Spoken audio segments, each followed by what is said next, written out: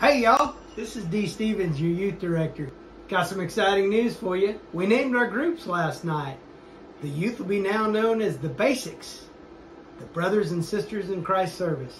And our little ones, well, they'll be known as the Basics Training.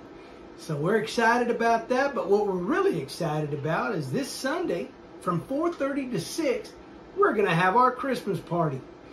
And we're going to have what they're going to call a nativity break-in. It's going to be exactly like an escape room, only different.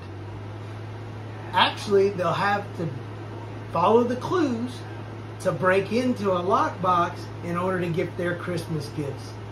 And after that, as if that wasn't fun enough, we're going to all meet in the fellowship hall and have a wonderful Christmas dinner together and then we're going to break up in teams and we're going to have a gingerbread house decorating party. Wow. For judges to see who's the best.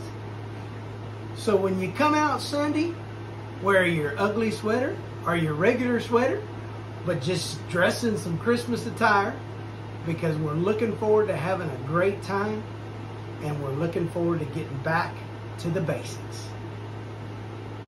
Is Pastor Barbara hiding from Santa or is she hiding from us?